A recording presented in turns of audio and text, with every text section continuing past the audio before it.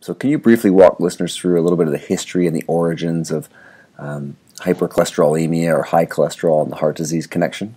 Sure. So, there is a disorder called familial hypercholesterolemia, which, um, as soon as you could, um, you had blood test results, which were developed in the first half of the 20th century.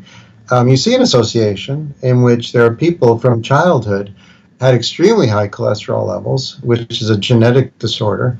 And you do find that sometimes young people, um, even children, um, teenagers, people in their 20s, have a heart attack um, and with this disorder. So you have people that have high cholesterol. You have cholesterol actually in the arteries. Um, you see people young developing heart disease. You put that all together, and it's just logical to assume that the cholesterol is causing the heart disease. And that's actually what's promoted the fear of cholesterol beginning really in the 1950s um, and then continuing on, frankly, to the present day.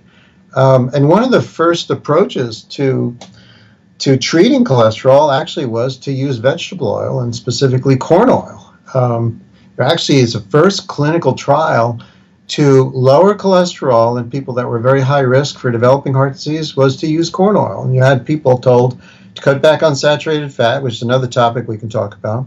For sure. Um, and they had a couple few tablespoons of corn oil every day. And compared to placebo, in which people were basically told go home and you know you're at high risk, you're going to be the control group, and unfortunately they were expected to have very high rate of heart attacks. Well, three years later, the people with dramatically lower cholesterol as a result of using corn oil had almost twice as many heart attacks and died compared to the people that didn't use the cholesterol, uh, the corn oil, and higher cholesterol. And it's published in British Medical Journal in 1965. And it's remarkable to me that people have ignored that, that paper, and yet they still see corn oil as being heart healthy.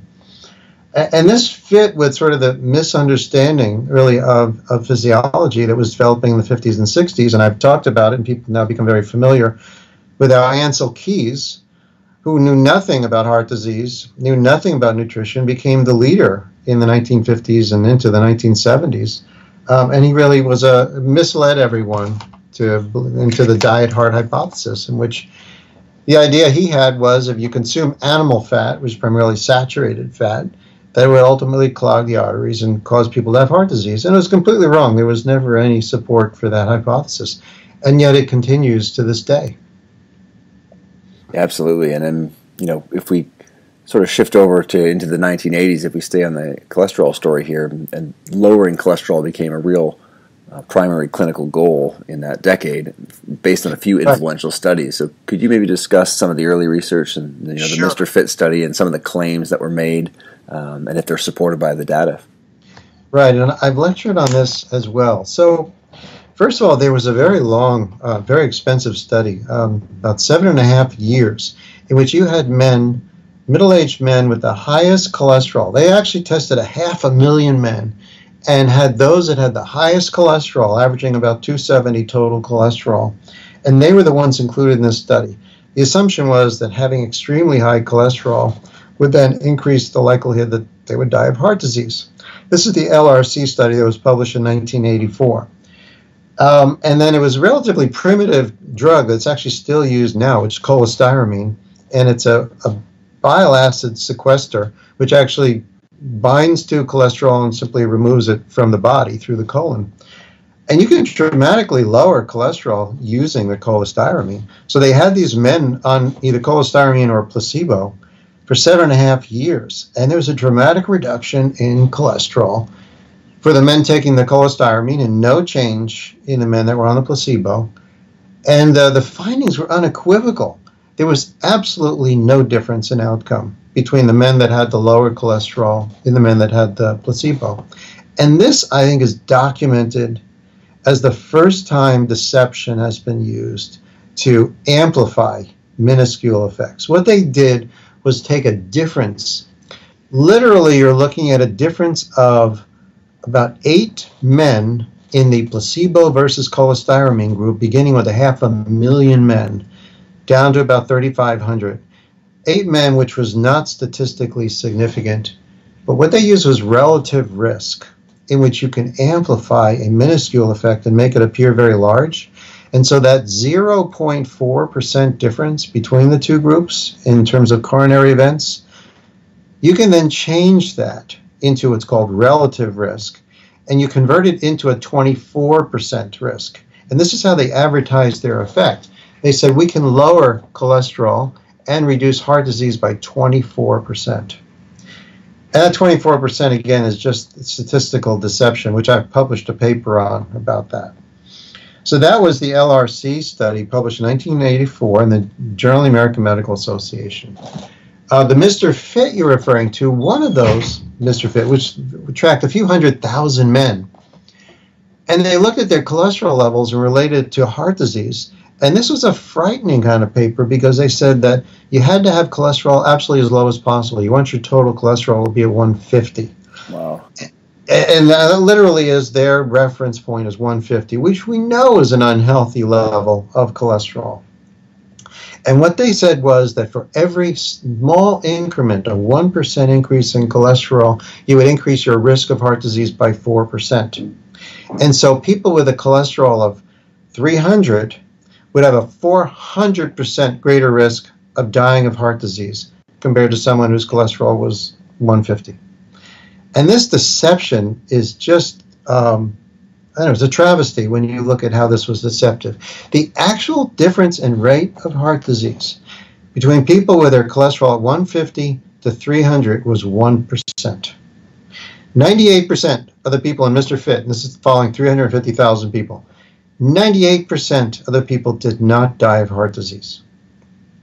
And yet, what they did was they took the difference across the entire physiological range of cholesterol, which was a 1% difference. So the people at the highest level of cholesterol, 98% of them did not die of heart disease. People at the lowest level of cholesterol, 99% did not die of heart disease. The difference was actually 1%.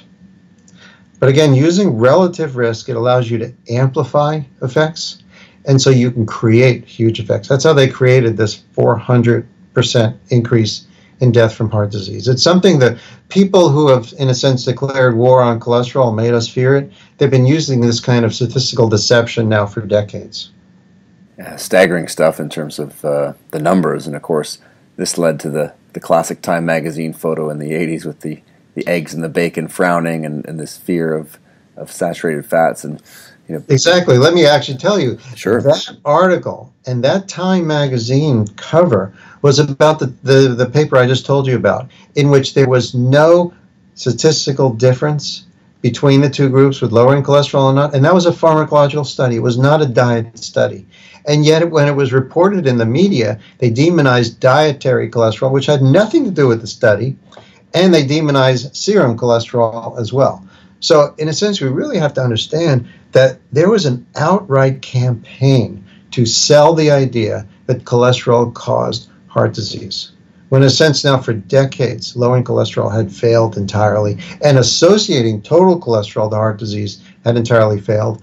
Now, that problem, though, uh, the problem was you had uh, um, the um, Nobel Prize winners, um, Goldstein and, and Brown and Goldstein in 1984 had written a Scientific American article saying LDL cholesterol causes heart disease.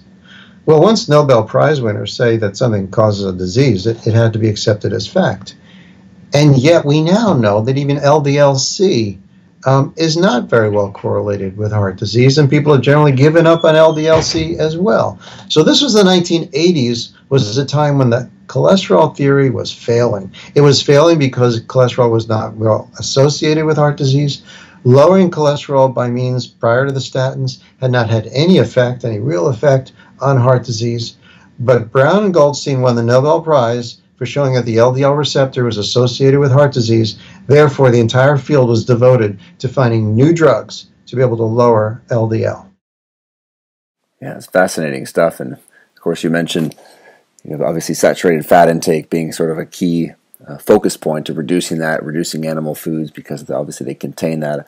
You know, years ago, I spent a year living in the south of France, and of course, the cuisine there heavy in things like duck fat and pate and butter and cheese, um, and of course, the diet over there, you know, somewhere around forty percent of total caloric intake comes from fat. much Right. of which is from saturated fat. And I know you've you've um, written and spoken about this here, but how does